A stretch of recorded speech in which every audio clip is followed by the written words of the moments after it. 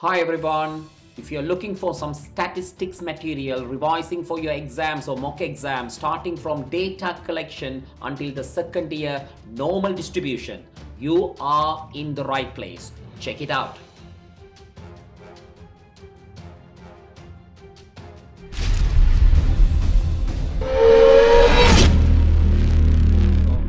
in this class, like we are going to be studying about data collection and sampling techniques, right? So the first slide, we are going to go through the problem solving cycle. The problem solving cycle. First, identify the problem, what you want to achieve, planning, how to collect the data, and what to do with the data. What to do with the data, right? And the second, information collection. That is what we are going to study here. The second part is the yellow color highlight is the part we are going to study, right? Collecting samples from the parent population census, right? Census mean buzzword, parent population using sampling methods. The second information collection is the one we are going to study. After studying this one, we are going to do drawing diagrams, box plot, histograms, and um, calculating locations and measures to represent the data. And finally, carry out some calculation to interpret the data, that is the hypothesis testing. Number two is the one you are studying now, right?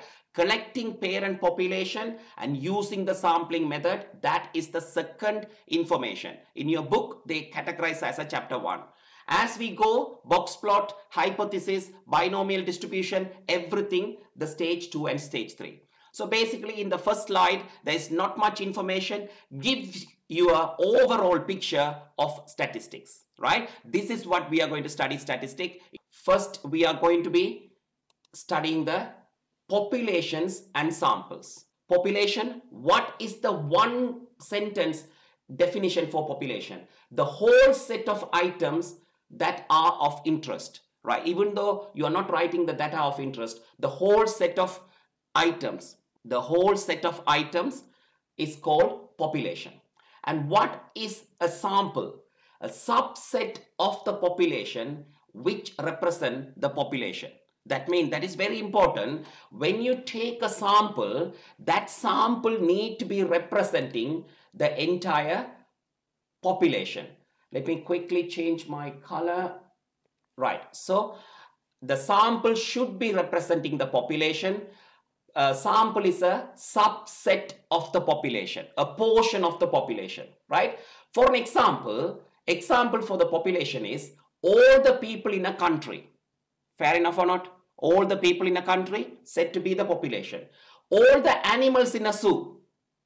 Definitely it's a population total stock from a supermarket right that also population don't ever think population means human and animals no population means stock right if you go to the corner shop the shopman asks you to can you help me to count all the uh, water bottles in the in his shop he's taking stock control that is population that is population population mean the total items that you are interested of right? So in this slide, there is a hidden question there. What are the question may ask? Define population, define sample. Or what is the difference between population and sample? What would be the answer? Population is the whole set and sample is the subset. That's it. That's it, right? So now we are moving on to the next slide. Sampling unit and frame the two different technical terms coming here sampling unit and frame if you see my slides right population is the total people standing i am marking here that is the population right? Sample what is sample? I group with the red color box. That nine people are called sampling right? And that the population entire people is called sampling frame. Let me go into the detail what is sampling frame. Often sampling units of population are individually named or numbered to form a list. We call database in the computer language, which is called the sampling frame. For an example, today for my class, all these people came.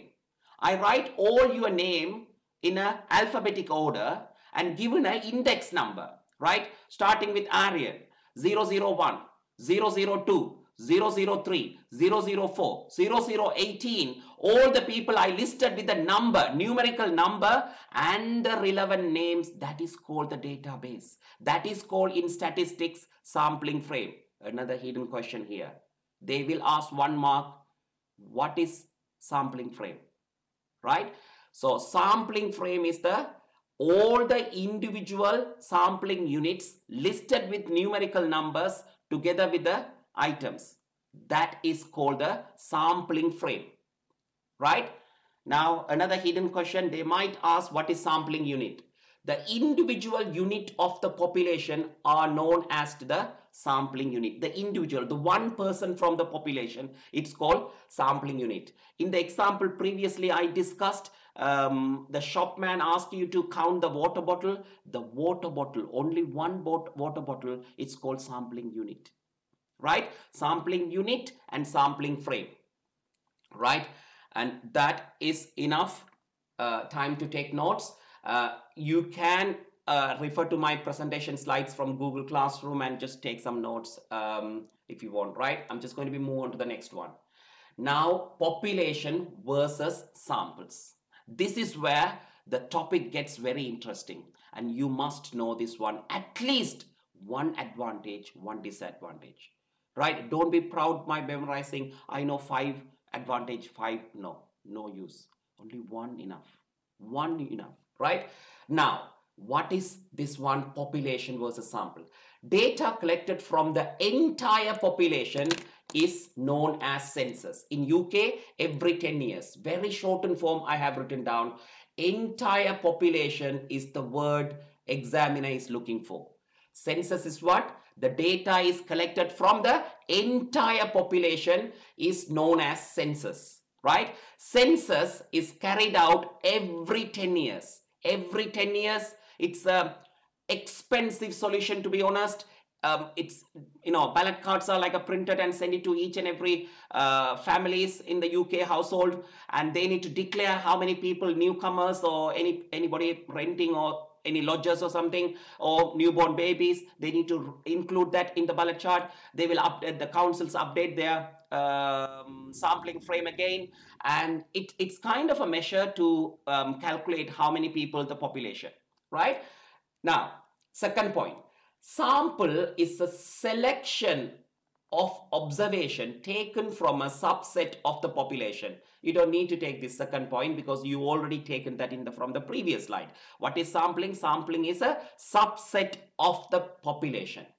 Third one, sample is used to find out the information about the population as whole. Very important um, meaning there. So what is that one?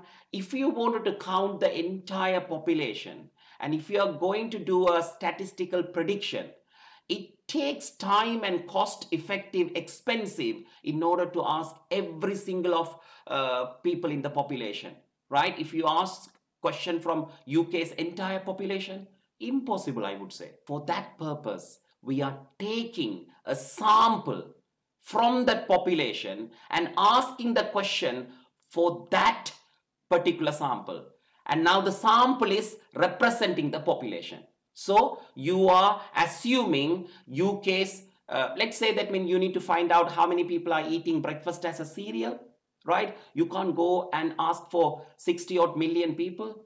You are asking a sample from Liverpool, right? Liverpool, um, one of the main street uh, standing there uh, 50 people coming you asking every 50 people and just asking what is your uh, uh, food in the cereal cereal bar um, you know apple fruits. They're saying different kind of things. You note it down and majority of the result you are going to be predicting uh, liverpool that 50 people sample uh, most of them like cereal bar right? Then you the question is can you represent the uk's entire population eating breakfast bar, that is where the decision making, right? Your sample sizes may be small, right? This time, the small sample frame is not good enough to represent the whole population. So these are the things you need to analyze. Now, We are coming to the census now. Census, I put a kind of a, a clip art to um, help you out you are counting people individual people. See that kind of a representation tells you wow i got the idea. You are counting people. Yes that is called census right? You are counting all the entire people in uk or in a country uh, or in the sampling frame that is called population and known as a census right? Advantage. One advantage you need to understand accurate accurate result, right? Census is very accurate. And disadvantage, disadvantage is what? Expensive. Yes, of course, printing the ballot card and time consuming, number of council workers counting this one, computerized program to do this one, all this expensive solution time consuming right so that's what they have the frequency 10 years in uk every 10 years they are counting the population census right? But time consuming right? Now this third one is i loved this one and please write this one. This is the the mark carrier for your exam. If you write this one you will get full marks right? Testing process destroy the items. Testing process destroy the items. Why? Let's say M&S employed you as a statistician to count uh, the apples uh, ripeness or avocados ripeness um, in your sample, right? So there are 400 avocados or apples given to you, right? And you taken 10 avocado or apples from the sample and doing the ripeness testing, right? You cut the apple and see whether, oh, it's ripe. Yes, yes, no, yes, no, yes, yes. Imagine if you are doing the testing for the all the 400 apples you are destroying the entire avocado apples. Uh, destroy um, all the samples. So that is not good enough. That is a disadvantage. Write this one then my order is second and third. This is first second third. When i'm typing i just type in the order i think of. Now after reading i just think testing process destroy the items is the first and expensive and time consuming and everything. Right uh, now the number four is the large data to process. Yes, to be honest with you, this is large data to process. Like you need to use some computerized program. Sampling, right? So in the other hand, sampling technique, the clip art, right? See the clip art I put, right? So all the populations are there. I put a magnifying glass and select that two people. That is my sampling, right?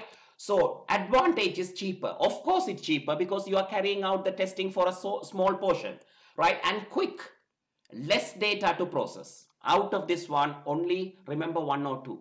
I don't want you to write all three if you can do it, but not necessary, right? Disadvantage.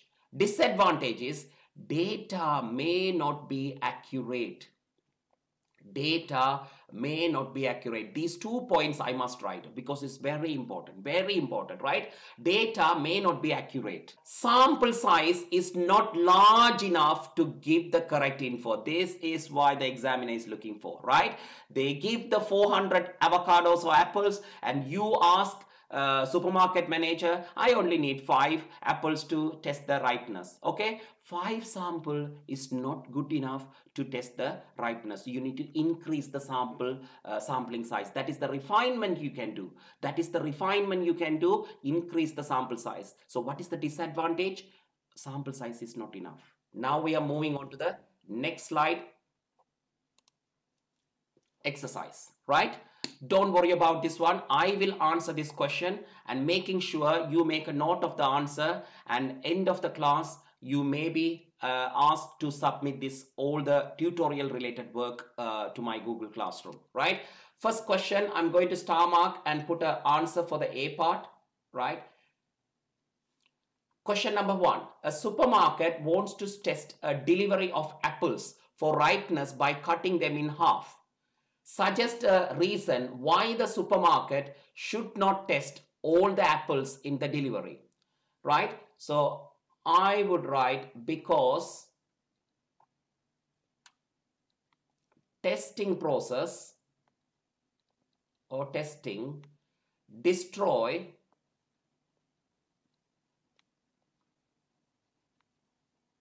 all the apples.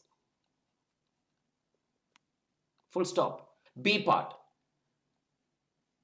The supermarket test a sample of five apples and find that three of them ripe. They estimate 80 percentage of apples in the delivery are ripe. Suggest one way that the supermarket could improve their estimate. Again, right? Supermarket means we are talking about like a, you know, 1000 2000 apples in their carrots and you know lorries and things like that. A big pallet of apples to test. The five apples is very small sample. So that is the reason you need to say five apples in a sample.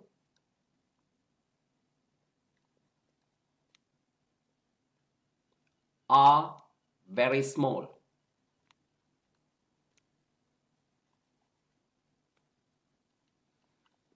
increase the sample size. That's more than enough, right? So what you need to say, increase the sample size 5 to 10 or 20, that will be give a better results, right? So we have done that one sampling and the population and advantage, disadvantage and one question.